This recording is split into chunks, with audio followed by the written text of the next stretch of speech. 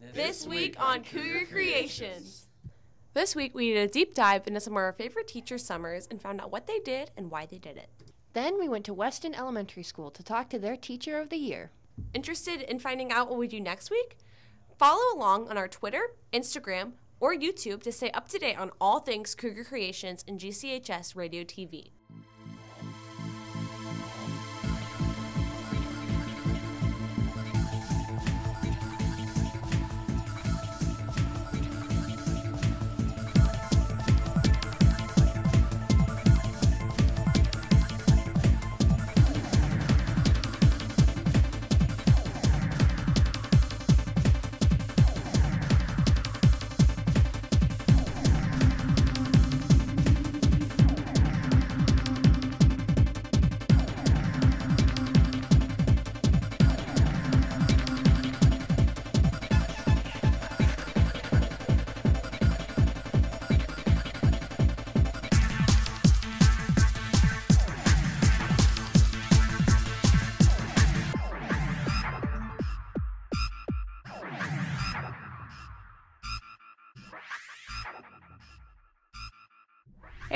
Welcome back to Cougar Creations. I'm Josie. And I'm Tyler, and we are so stoked to be back to school after our awesome summer break. That is so right. And speaking of, have you ever wondered what teachers do over the summer? I sure have. Well, same here. In fact, I was so curious that I actually contacted a few of our teachers and found out what they did over summer.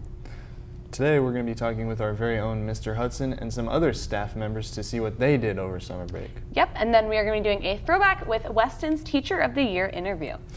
But for now, let's send it over to Josie and Mr. Hudson.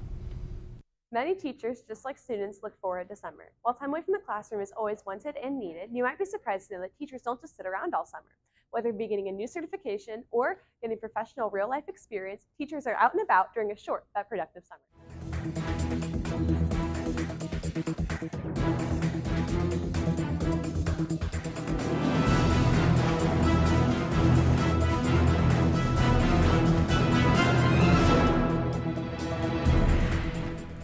Mr. Hudson is the head of our radio TV department. He's heading into his 11th year of teaching.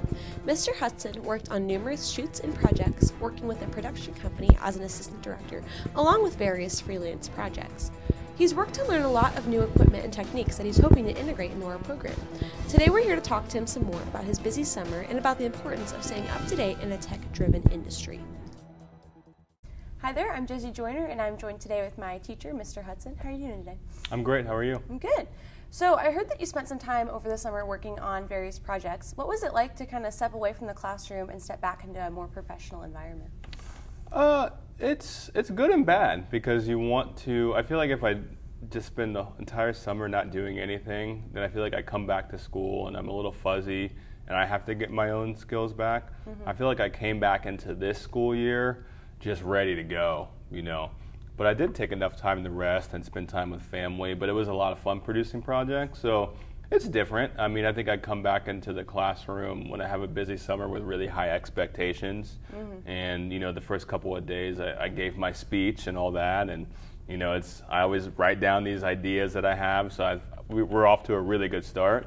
So a lot of it is the balance of making time for yourself, and I spend a lot of time riding my bike and traveling, but then also incorporating video pieces into that as well. Cool. So, is it difficult to transition from working in the classroom and teaching students and then going back into like the professional setting and doing shoots? Uh, to an extent, yeah, it's a little difficult because when you show up on a professional shoot with what I do with Precise Take, I'm just with people that just do it all the time. So there's not really a teaching element. We just kind of react. We go and we just do it. Whereas when I'm teaching, there's a little more patience. There's a little more. Uh, it's kind of more like chess. You're moving pieces Right. around. You're trying to put kids in good positions. Whereas on a professional project, when you're working with people at that kind of level, everyone's pretty much skilled. So you don't necessarily have to do as much of that. You're kind of more just on like quality control. So like as a director, I had like a young guy that was really good at drones. So it was just sort of I wasn't educating him because he's skilled, but you kind of say, "Hey, this is what we need. This is how I think you should film it." And then I worked with a young videographer, and then we had Ashley, of course, helping me. So it was kind of like you know more or less saying, "This is what we need," but I expected her to be able to to do that, you know, on her own. Besides being in a classroom where I would kind of teach her a little more, if mm-hmm. that makes sense. So, what do you think the importance of working on professional shoots and staying up to date is in such a tech driven industry? Well, it's important because there's this new equipment. You know, mm-hmm. we, we got a new drone. I spent a lot of time working with that drone, learning pretty much everything about it, mastering the settings, making sure that when you guys use it, it'll be easy to use. And there's just a lot of thought that goes into that. So I do spend a lot of time on professional projects, but I'm always thinking about what are the best ways that we can do things in the classroom. And that's why when you look at Cougar Creations and you look at our projects, they look pretty good because I'm just stealing kind of the technology and the ideas from my professional work and bringing them in here because I think you guys are quite capable of recreating it with good instruction. So. Um, what do you find to be the most rewarding part of doing videography with Precise Take in general? Oh, it's just fun. I mean, Aaron and I go back. You know, he was the uh, piano player at my dad's church, and I was the bass player. So we've always had a really good connection. We work well together. We we have high expectations we kind of see things the same way. And when you're in a close partnership with someone, especially with video, it's important because mm-hmm. I've seen friends work together on projects and have had falling outs, and you know people want to do things a certain way. So for me, I respect like that is his full time job, that is his company. Now that I'm back in school, I just kind of help more when I can, and that's just kind of part of it. So you know, when it comes to the projects that he chooses and the clients, and he's the one that's out there hustling and doing all the sales I really just want to support him and, and be a good teammate to him and a, and a, good partner. All right. So, what kinds of equipment do you get to work with on these shoots? Are they different than what we use in the classroom? Or? They're a lot more expensive. uh, we use a, uh, his main camera is kind of a Sony FS5. The body alone on that camera is probably about six thousand dollars. He has at least four lenses that work with it. One of the lenses is actually used in a lot of films. It's used on a lot of TV shows. It's a long lens, so it has a lot of different controls on the lens. So it's a really, really nice setup. Um, lighting equipment is mostly the same that we would have here, and then his DSLR is the Sony A7 III, mm. so it's a little bit nicer than our Canons that we have. Uh, but they all do the same thing. You still have to shoot manual. You have to know, like when we were setting this up, how to adjust the exposure. So it's still the same techniques. It's just slightly maybe nicer equipment than what we would have. Okay, cool. So what kind of skills or techniques have you learned on shoots that you'd like to bring into the classroom that you haven't already? Uh, I think I spent a lot more time shooting things documentary style mm-hmm. this summer. So really paying attention to getting quality B-roll and you saw that last year when we did the Peace Walk final. Mm-hmm. I gave you guys a lot of really good B roll to pick from. So you always practice B roll techniques with the Osmo, with a DSLR, how to get creative shots so it's not just the same kind of shots. You need, you know, I, I have a better understanding of how B roll helps tell your story. So that's why I'm always a stickler on when the B roll isn't very good. Mm-hmm. So that's that's a big thing and then just always finding ways to get better audio in the field is just challenging mm-hmm. you know with the wind and the conditions and then you deal with all kinds of different people. So i think all those things just come down to really paying attention knowing your equipment and then being prepared. Very interesting. So you mentioned earlier that you did a lot of stuff over the summer other than working in the professional field. So what else did you get up to this summer? Oh i got to travel. So i took a bike trip um, that's when you basically just ride your bike and then you stay in a hotel and you wake up and you ride, and you stay in a hotel. And I actually took the drone mm. and a GoPro and an Osmo. So I just finished as of last night cutting a 15 minute little documentary about that. And that was really good practice to use mm-hmm. all that equipment. So I did that. Uh, I went to Denver and filmed a lot of stuff in Colorado in the mountains. So I, I cut a little Instagram edit for that. Um, made some promotional stuff for the cycling team. So just small stuff here and there. Cool. So whenever we get something here at school, the first thing I do is I take it home mm-hmm. and I mm-hmm. just learn how to use it. Very nice. So we've heard a lot about your DJing just in class. How would you say your skills have improved over the summer compared to like where you started at the beginning? Uh, just a lot more comfortable. Mm-hmm. You know, DJing is confidence. It's what I try to teach you guys it just relates to being in front of people, relates to being in front of a camera. You just have to be very confident. You have to be very organized. So I think the DJing side as a teacher helps me be a little more organized. It helps me be focused, but then understanding like things come up. Like we have another interview to shoot after this that, you know, that we just have to kind of sneak in. So mm-hmm. you're organized, but you're able to adapt, and that's what really being a good DJ is. Awesome. Well, that's all I've got for you today, so thanks for talking to me. Thanks. Miss Grimes is one of the Spanish teachers here at GC. Today, we're here to talk to her about her time spent in Costa Rica. We're going to find out about what she did in the trip and the logistics of planning a trip like this. Our school takes a lot of trips around the world. It's been said to be an amazing experience for everyone who goes. In fact, we've done a show about a European trip during season three. While this isn't the first trip Miss Grimes has been a chaperone on, this is the first one where she was the main coordinator. Let's find out some more about her summer. So I heard that you went to Costa Rica this summer. What was one of your favorite activities that you did? Um, for me, I think my favorite activity was whitewater rafting. Nice. Um, have you taken any trips to other countries before this? Either like with this specific tour company or just like on your own? Yeah, I went on a trip that Miss Sears led last fall to Europe.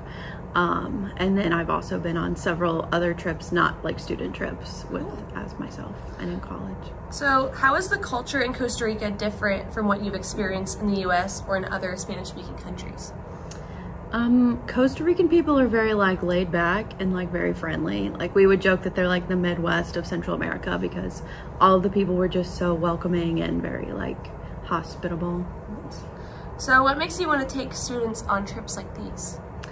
Um, being able to share like things that I know are really cool and they don't necessarily feel that like in the classroom and being able to actually see it um, applied in real life is a really neat opportunity. So I know that like graduated seniors were able to go on this trip. So what was it like seeing students you formerly had in class in a more relaxed setting? It was definitely different. There were still a good amount of kids that I had never had in class. So, but being able to be in that more like relaxed environment was really cool to see the kids kind of more outside of the classroom. So in both this trip and the fall trip you mentioned, what responsibilities do you have as a chaperone that you might not have originally expected? Um, well, on the fall trip, because I was like a chaperone and not the group leader, I didn't have a ton of extra responsibilities. But on this one, because on Costa Rica, I was the group leader, so I had to make a lot of like decisions as to what we were gonna do, like spend our time. I had to coordinate a lot with our um, group leader, or what's it called, tour guide. Um, our, we had a guide that was with us the whole time, so I had to do a lot of that kind of stuff behind the scenes and stuff. So how can you teach students about the location while also providing them a good time? Like how do you balance the educational aspect with the sightseeing? Um, I think, well, our guide did a lot of the teaching when we were there um, because he's familiar with all the area. And so we would go do something fun and we'd stop in the middle and he would point out something really cool that we were like in the middle of and stuff. Hmm. Um, how do the, these trips impact your teaching style? Um, they definitely give me more like hands-on information that I can share with my students, even the ones who don't go, to teach them about like the culture and stuff of these places. How accessible are these trips for students? They're fairly accessible. They we plan them up to two years in advance, and they can pay like every month. So, um, really, anyone can do it as long as you're saving up for it. So, how can students find out more information about these types of trips? We send out emails and parent squares and Google Classroom posts. Miss Amador is planning a trip, so I've been trying to. I sent out a parent square about her trip, and I don't know what Mr. Leswick does for his trips, but All right, what's I got for you? So thanks. okay, thanks. Mr. Bruck is one of the assistant principals at our school. While I'm sure he had a very busy summer, I joined him to talk about the Work Ethics Certificate. This program is something that not many seniors know about or utilize, and that's why I was invited to speak with him about it. So let's learn some more about the Governor's Work Ethics Certificate. Hi there, my name's Josie Joyner, and I'm joined today with our Vice Principal, Mr. Bruck. How are you doing this morning? I'm great, Josie. All right. Um, so I'm here to talk about the Work Ethics Certificate. So why don't you tell me a little bit more about that? So, the Work Ethic Certificate is a program sponsored by the Governor of Indiana and the Department of Workforce Development. And it's a program for seniors in high school who are looking to show that they have those soft skills needed to enter the workplace. And so they demonstrate those skills, and then um, basically the school signs off, and the governor says, Yeah, you, you've got soft skills needed to be employable in Indiana. All right. So what's required for it? So the state sets nine criteria for us. Um, five of them are what we would say are soft skills, and so it includes um, I'm going to say perseverance is one of them, um, the ability to communicate well, being a self starter, um, being reliable, and then kind of like an organization piece. And so we, we put your name into a database basically, and you demonstrate those skills as a senior, and then a teacher goes in and signs off on you. And if three teachers sign off on all five categories, or 15 teachers sign off so that you have three signatures for each of the five categories, you meet those five. And so that's kind of the soft skill side. And then the other side, we just kind of track through PowerSchool, and that is you have to have an attendance rate of 98%. And that's the hardest one for students because that's a really high attendance rate, but that's what the state says they're looking for. And so um, no A's, AU's, AUV's, or truancies, um, that counts against you. Um, you have to have a cumulative GPA for your whole high school career of 2.0. Um, you can't have any um, more than one discipline incident in your senior year, and you need to do six hours of community service. And so, if you can do all nine things, um, you qualify. The one thing I think that's important to realize is that we don't look back, other than the GPA, we don't look back at your previous three years. So, this is specifically for you and how you achieve in your senior year. And if you can demonstrate those things and do those things in your senior year, you're good to go. All right. So, how can students sign up for it? The easiest thing to do is get on your senior Google Classroom, that's through counseling, and there's going to be a Google form that's going to say Work Ethic Certificate Participation Form. Um, click the link, fill out a couple of questions. It's basically contact info, and then just reading the requirements and making sure you know what they are. And fill that out and submit that, and you will be all set. So, if you could do that by, we're going to say Labor Day, that would be great. That's how we'll get you in. All right. So, what are some common questions that students normally have? Um, the it? attendance is always a big question. Mm-hmm. Like, hey, what counts? And so, yeah, just to be sure that you know that it accounts the excused and the unexcused absences against you. So, the state set that bar really high. Um, people always want to know about the community service what mm-hmm. what counts as six hours that's probably easier just to ask me probably in person if you're questioning it um, but basically, we don't want you to double dip and use six hours for NHS and then also count them for this. Mm-hmm. So six unique hours. Um, and then the other thing is about the signatures. Um, do you need to go around as a student and and beg for signatures from teachers and be like, oh, "Can you sign?" no, we don't want that because we don't want teachers to feel like guilty about mm-hmm. signing or not signing. So we just do that in an anonymous form that they have access to. Your job as a student is just to demonstrate the skills and and my job as the facilitator of the program is to make sure teachers know that you're participating and to look for those skills in you and sign off saying, yeah, this student has those soft skills that we want. All right. Um, so, where can students find out more about work ethic in general? There's a website. If you just search Governor's Work Ethic in Indiana, you can see the state's website. Um, there's actually some stuff where Greenfield's kind of featured because um, we've been doing the program for a long time. Mm-hmm then um, if you have specific questions about the program, you're going to want to stop by and see me or email me. That's the easiest way to do it. All right. Thank you. Thank you.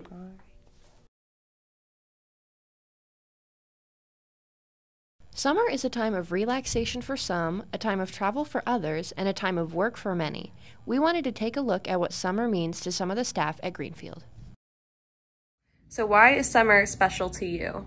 So summer is special to me because I've got two boys at home that are growing up quickly, and so they are nine and 12 now. And so summer is when we get to hang out and everything kind of slows down a little bit, and we get to ride our bikes and play basketball and play tennis and all that good stuff. So summer is important to me to have that time with them where I'm not as busy. Summer is important to me specifically because that is a time where I have off of work, but also my kids do as well. So it's not just the bustle of the everyday week it is quality time with my kids for the most part.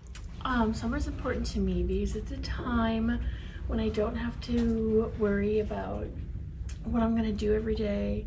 And I also get to see um, friends and family and like travel again, get to see them.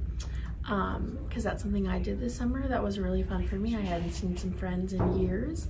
Um, and that's why I love summer because that's a time when everyone's available to do that. I think summer is important just to kind of like get a little decompression from the everyday kind of work activities you might have to do. Um, it really gives you a chance to rekindle with friends, family, um, even prepare for the next year. So look back on you know what you did well, what you didn't do well, um, and really just go out and have the most fun you can as well. So for me, big golf guy, so I'm hitting the links in the summer. Um, but that's about it. It allows me a chance to wind down from all the chaos and the having to interact with people all day because as an introvert, I need some quiet time and time away from people. Thank you to our lovely staff members for taking the time to sit down and talk to us about their summers. Now let's send it over to a newly edited Teacher of the Year interview at Weston Elementary School.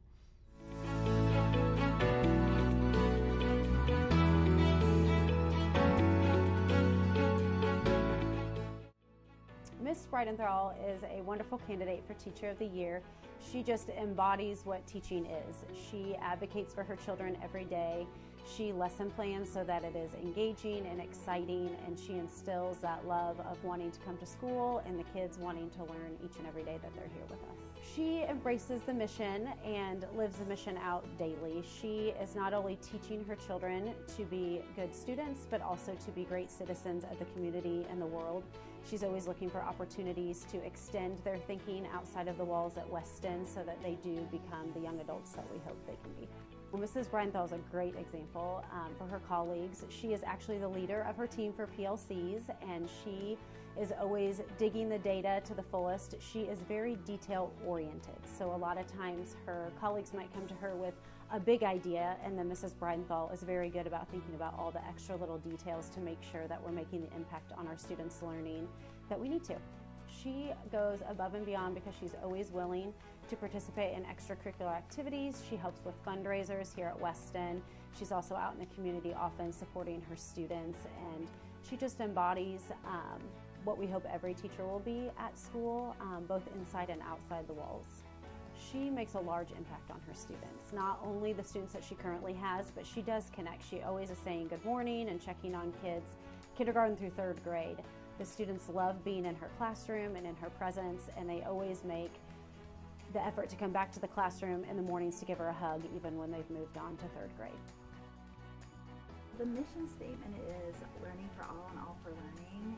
And the way that I think of that in my classroom is that all kids are different, um, but they all have a place in my room. And I just have to modify my teaching to meet their needs and I do have high expectations for all of them to learn. In my classroom, I take kids beyond their comfort zone by showing them that it's safe to make mistakes and teaching them to persevere and then move them into growing. So um, I teach them never to give up um, there's examples of that, like I meet with them individually to go through their reading and writing, to set individual goals, and push kids to move beyond um, what they initially expect. I teach kids to continue learning by, I think, instilling a love of learning and instilling a love, particularly of reading, so that outside of the classroom, they will continue to read for enjoyment. Um, I partner with their parents to help collaborate with them so that they can set goals for learning at home as well. And um, we also do a lot of STEM projects. Um, I used to be a science teacher, so that's kind of a love of mine. And so we do a lot of STEM projects, and I try to teach the kids that they can be scientists outside of the classroom and to explore the world. I think intentional learning in the classroom starts with me being an intentional teacher. Um, I intentionally plan. Um, I intentionally think of all the aspects of my students. And so I set really high standards for myself um, for and set high expectations for myself. So in the classroom, I expect kids to also rise to those expectations and you know I intentionally plan but then I teach the kids to also be flexible and revise those things as we need to. There's a lot of important issues. Um, I think one of the most concerning to me is that there are a lot of great teachers who are leaving teaching right now. And that teacher burnout is created by putting a lot of things on their plate and not always having the support that they need um, from the communities, from government, um, and so on. Um, and that burnout leads to teacher shortages, which only makes it worse for the teachers who are there. So um, personally, I feel like I have a lot of support and support in this community, but I do think that it is a big issue nationwide. Being a leader means that you're positive and that you set a good example, um, that you lead by example. I find it really um, important for myself to help others. I enjoy helping others, and that means helping my colleagues, sharing ideas, and in that way, I can be a leader. Um, I love um, talking about the people who helped influence me because, first of all, I'd have to say my parents. My parents were both educators. Um, they both have now retired, but they taught for many, many years, one at Maxwell and one at Mount Comfort Elementary. And they really instilled in me a love of teaching and a just, I was brought up in a culture of learning and teaching. And then I'd also say that phenomenal um, teammates that I have had, that I've taught with through the years, have helped push me to be better, um, and they've helped me to become a better teacher. Well, she's nice, and everybody here has fun, and she makes learning super fun. She is nice, and she helps you learn, and when you and she helps teach us that it's okay to make mistakes. We can always try again. She's nice and she uh, does a lot of she's um, she's really nice and she um, makes learning really fun. The best part is that she makes sure everybody is kind and she's just real nice. She's such a good teacher because she lets us read, she helps us with our tests a little, and she's just very nice.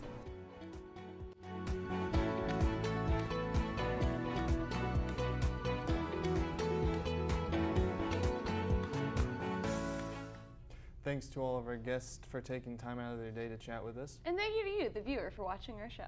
Until next time, I'm Tyler. And I'm Josie, and I hope you have a cougar-tastic rest of your day.